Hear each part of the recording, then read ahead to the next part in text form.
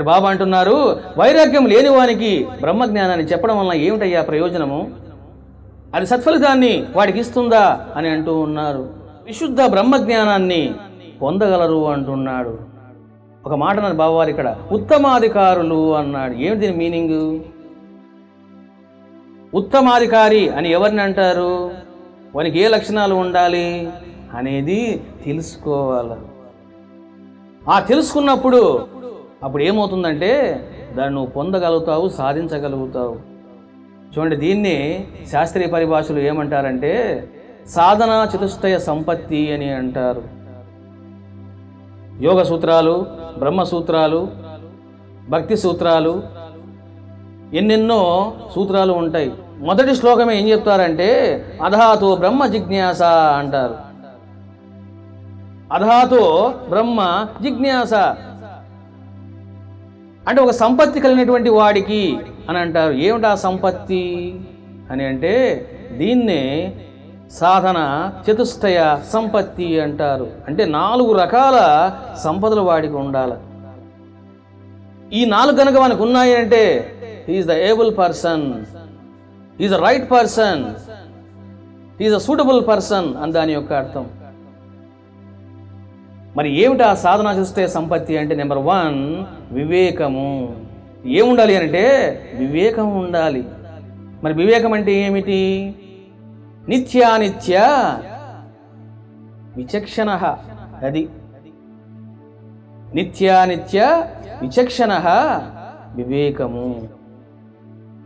నిత్యమేమిటి అనిత్యమేమిటి అన్నటువంటి విచక్షణ నీకు ఉండాల. మరి నిత్యం ఏమిటి? భగవంతుడే నిత్యం గురువే నిత్యం. మరి అనిత్యం ఏమిటి? ఇదిగో ఈ ప్రపంచమే అనిత్యం. ఎందుకు? నువ్వు ఎన్ని సంపాదించుకున్నా ఒకనాడు శ్మశానానికి వెళ్ళిపోవాల్సి ఉంది. నువ్వు అందంగా ఇల్లు కట్టుకోవచ్చు. కానీ నీ కేర్ ఆఫ్ అడ్రస్ ఎక్కడ? శ్మశానం. One day you have to go to the శ్మశాన. నువ్వు ఆ ఇంట్లో శాశ్వతంగా నిద్రించలేమంటున్నా నేను. నీవు గ్రానైట్తో మార్బుల్స్తో రంగరంగ వైభవంగా నువ్వు ఇల్లు కట్టుకోవచ్చు. కానీ ప్రాణం పోతే నీ అడ్రస్ మళ్ళీ శ్మశానమే. స్థితి కాబట్టి ఏముండాలా? వివేకం ఉండాలా? ఎంతవరకు నువ్వు డబ్బు సంపాదించుకోవాలా? అంతే సంపాదించుకో తప్పు లేదు. ఎంతవరకు నీకు సుఖాలు కావాలా? నువ్వు అంతవరకే ఉండు. అట్లా ఉండదు. ఏం చేస్తారంటే ఇదిగో అత్యాసకు పోతూ ఉంటారు బాధలు పడుతూ ఉంటారు. నీకు బాగా తెలియాలి ఏమని? నేను ఈరోజు వరంగల్కి వచ్చాను నాకు తెలుసు ఏమని? రేపు నేను వెళ్ళిపోతాను.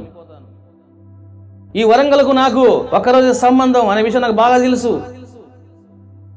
నీకు కూడా ఒక ముప్పై సంవత్సరాలే ఈ లోకముతో నాకు సంబంధము అన్నటువంటి విషయం ప్రతి ఒక్కడికి బాగా వంట పట్టాల. కాబట్టి ఎవరైనా ఎంతకాలం ఉంటారు? ఉంటే ఇంకో ట్వంటీ ఇయర్స్ ఉంటారు.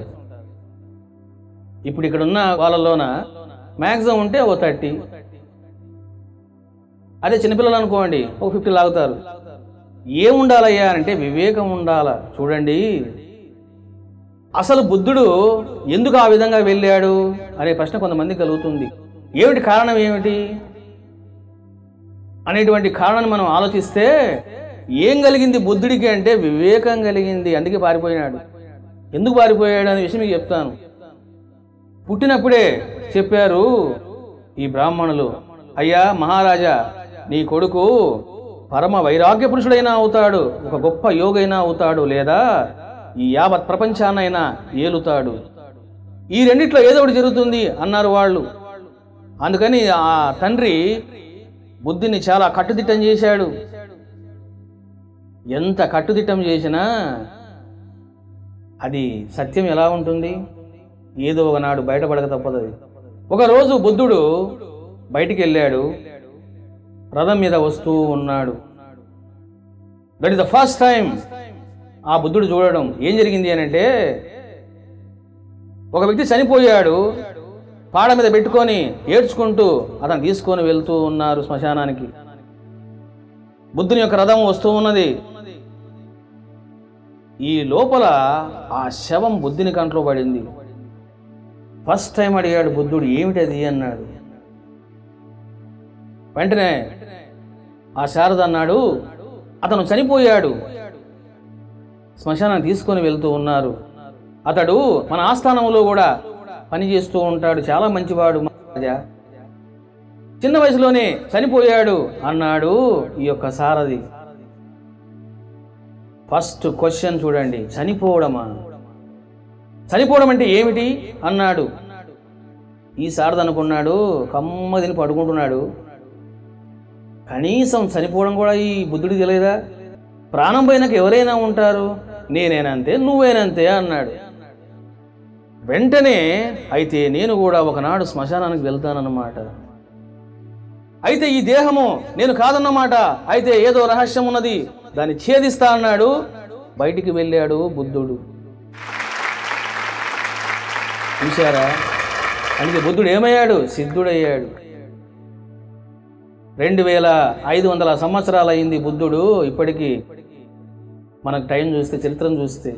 కానీ ఈరోజు మనము ఆ మహితాత్ముని స్మరిస్తూ ఉన్నాం. ఎందుకో తెలుసునా? సత్యాన్ని పట్టుకున్నాడు. ప్రపంచాన్ని పట్టుకోలేదు. ఎంతో మంది రాజులు రారాజులు చక్రవర్తులు ఈ ప్రపంచాన్ని ఏలినారు. వాళ్ళ గురించి మనం ఆలోచించడం లేదు పట్టించుకోవడం లేదు పూజించడం అసలే లేదు. కానీ బుద్ధుడి గురించి మాట్లాడుతూ ఉన్నాం బుద్ధుడిని ఆరాధిస్తూ ఉన్నారు. ఏమిటి కారణం అని అంటే సత్యాన్ని పట్టుకున్నాడు పరమ వైరాగ్య పురుషుడైనాడు. ఇదే అతని జీవితంలో రహస్యం. కాబట్టి వివేకం కలగాల. వివేకం కలిగినప్పుడు ఏమవుతుందంటే నువ్వు ఆనందంగా ఉంటావు. ఇక రెండవది వైరాగ్యం. వైరాగ్యం అంటే ఏమిటంటే ఇప్పుడు మీకు ఇందాక చెప్పాను విరాగము అన్నాను చూసారా ఇక మూడవది ముముక్షత్వం. ముముక్షత్వం అంటే నాకు మోక్షం కావాలి అని కోరుకోవడం. కాబట్టి మొదటిది వివేకము రెండవది వైరాగ్యము మూడవది మోక్షత్వము మోక్షత్వం అంటే నాకు బ్రహ్మ జ్ఞానం కావాలి. నాకు సాయి కావాలి అన్నటువంటిదే ముముక్షత్వం. కాబట్టి ఎవరైనా సరే నీకు మహాత్ముడు కనపడి ఒక వరం ఇస్తాను కోరుకో అన్నాడు అనుకోండి. వెంటనే ఏం చేస్తాడంటే ఈ వరంగలకు ఎమ్మెల్యే చేయండి చాలు అంటాడు. అంటే ఏం చేస్తాడు? రకరకాల పదవులు లేక ధనాన్ని ఏవేవో కోరుకుంటాడు. అంతేగాని నాకు బ్రహ్మజ్ఞానాన్ని ప్రసాదించు అని మాట రాదు. ఎందుకు రాదు అని అంటే అతని యొక్క డిజైర్ అతని యొక్క లక్ష్యము అది కాదు. కాబట్టి నాకు బ్రహ్మజ్ఞానం కావాలి అన్నటువంటి కోరికను నీలో దృఢంగా పెట్టుకోవాలి. ఎందుకు? అదే పరమానందం అదే శాశ్వతం అదే కైవల్యం. అంతకంటే ఇంక ఏం కావాలా? కాబట్టి దేన్ని అనుభవించాలో దాన్ని అనుభవించాలా? పెద్దలు ఏమన్నారు? కొడితే పుల్లిని కొట్టాలా అన్నారు. అనుభవిస్తే ఏం అనుభవించాలా బ్రహ్మానంద పరమ సుఖాన్ని అనుభవించాలా? ఎందుకు? దేవతలు కూడా దాన్ని అనుభవించలేరు. బాగా అర్థం చేసుకోండి. మనము అగ్నిదేవుణ్ణి వరుణదేవుణ్ణి వినాయకుడిని భూమాతను రకరకాల దేవతలను పూజిస్తూ ఉంటాము మీకు తెలుసో లేదో? ఆ దేవతలకు కూడా ఆ బ్రహ్మానంద పరమసుఖము లభించదు. వాళ్ళకు స్వర్గములో అమృతం లభిస్తుందేమో కానీ బ్రహ్మానంద పరమసుఖం మాత్రం లభించదు. అది ఎవడికి లభిస్తుంది అని అంటే సాధన చేసేటువంటి బ్రహ్మ జ్ఞాన సాధకుడికి మాత్రమే లభిస్తుంది అది చూసారా అంటే మానవ జన్మ దేవతల జన్మ కంటే కూడా ఉత్కృష్టమైనటువంటిది. ఈ విషయం మానవాళికి అర్థం కావడం లేదు. అసలు అర్థమైతే ఎంతో ఆనందంగా ఉండేది సమాజం. అర్థం కాలేదు. అందుకని ఏం చేస్తున్నారు? ఇదిగో రాగద్వేషాలు కుతంత్రాలు అసత్యవచనాలు అహంకారాలు మమకారాలు లోభాలు ఈర్ష్యా ద్వేషాలు ఇవన్నీ తాండవం చేస్తూ ఉన్నాయి. ఎవడికి సుఖం ఉంది ఈ లోకంలో? ఎవడికి సుఖం లేదు. వాడు పొద్దున్నే లేస్తేనే పనికి మాలినటువంటి వార్తలు. ఆ వార్తల వలన ఎవరికైనా ఉపయోగం ఉందా? మనసును పాడు చేసుకోవడం శాంతిని పోగొట్టుకోవడం తప్పని ఏమైనా ఉందా అక్కడ? ఏమీ లేదు. కాబట్టి ఏం కోరుకోవాలి అని అంటే బ్రహ్మజ్ఞానాన్ని కోరుకోవాలి. చూడండి. ధర్మము అంటున్నారు నీతి అంటూ ఉన్నారు.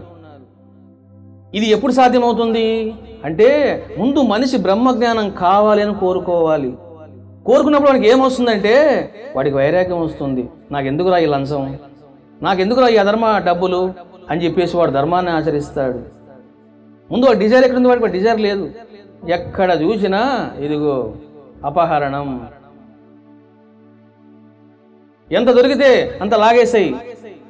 అధికారము డబ్బు హోదా ఇవే ప్రపంచాన్ని ఆటాడిస్తాయి కాబట్టి వాటిని మనిషి పట్టుకో ఉన్నాడు. మరి కోట్లు సంపాదిస్తే నువ్వు సుఖంగా ఉంటావా? సుఖంగా ఉండాలి ఏం చేస్తున్నారు? దానికోసం ఆరాటపడుతూ ఉన్నారు. కోట్లు ఉండొచ్చు బీరువాలో కానీ గుండెల్లో ఆనందం ఉంటుందా? గుండెల్లో ఆనందం ఉండదు వాడికి.